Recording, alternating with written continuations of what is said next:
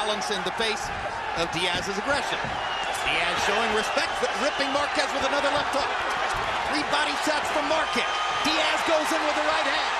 This is going to be a hellacious war.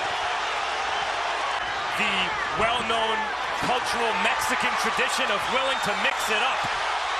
And are they ever? Big left hook by Diaz.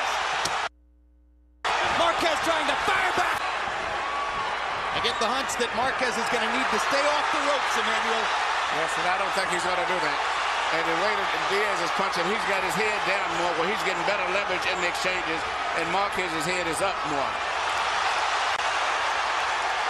And this crowd is on its feet already, and they may be on their feet all the way.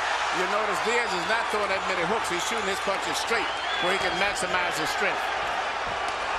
Big left hook, staggers Marquez. Marquez in trouble.